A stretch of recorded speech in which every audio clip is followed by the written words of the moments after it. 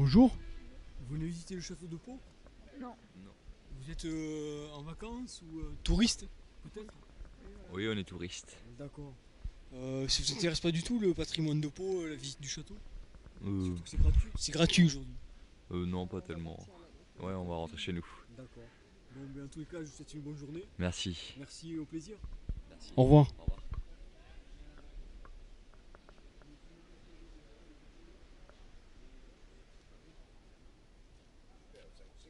ça s'est fait euh,